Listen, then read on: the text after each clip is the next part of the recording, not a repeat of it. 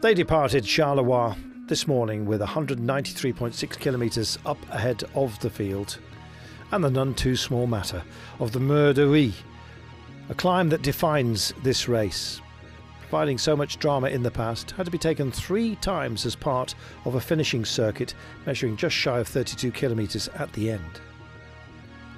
You had to be brave to be in the break, surely the favourites would come good at the very last.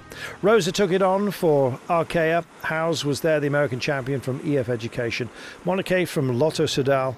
Alpecin had Vivike up there. Qhubeka represented by Armée. Lammertink from Intermarché Wanty. Velasco from Gazprom. And Martins from Sport Vlaanderen. Well, in the end, by the time the bell rang for the last lap, including the Mur de Were to get yet another preview, and Gesker it was at the front of a, a group of hopefuls that just pushed on ever so slightly. You've got to have good luck on a day like this, and that was absent from UAE Team Emirates that didn't actually start the day due to a COVID test. On the deck, here, Thomas Pidcock. He was relayed back in by Tao Geoghegan Hart. And maybe that gave heart, perhaps, to some of those who really didn't want to a ramp specialist, somebody explosive at the end of the day, so the pace was high, continued to be so on the approach to the last couple of climbs. Well, the Côte de Chemin looked like it was curtains for the breakaway. Last man standing was to be Lammertink of Intermarché Wanty, but Tim Wellens decided he was going to come and join the fun. Bridged over to Sylvain Moniquet of Lotto Soudal and on policing duties.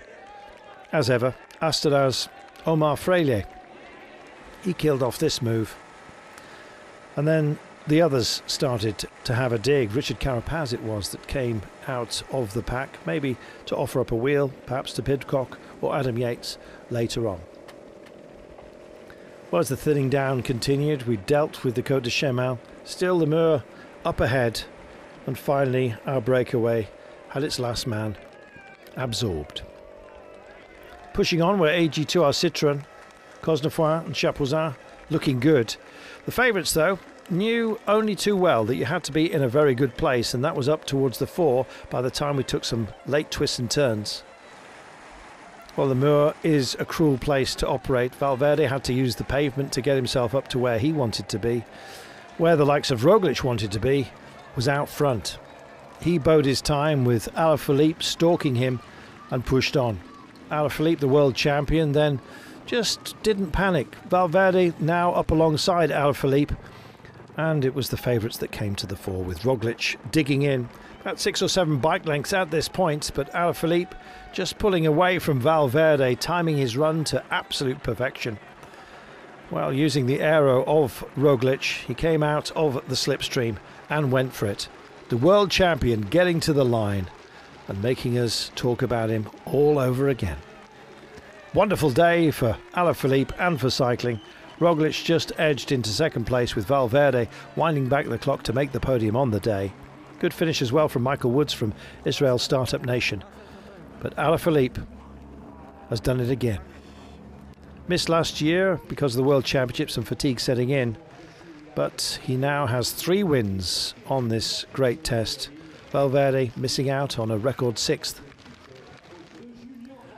Roglic well, he went early, but he had no choice on this hill that seems to be just about owned by this man now. Delight palpable for Alaphilippe, and no surprise. Alaphilippe ahead of Roglic, Valverde, Woods, Warren Barguil getting up well for Arkea. Tom Pidcock managed sixth place ahead of Gaudu, Chaves, Carapaz, and Schachmann. A worthy winner it always is here, however, None worthier, certainly on this day, than Julian Alaphilippe. He's done it again. Wonderful day's racing, and more great racing to come, of course, with Liège Bastogne Liège.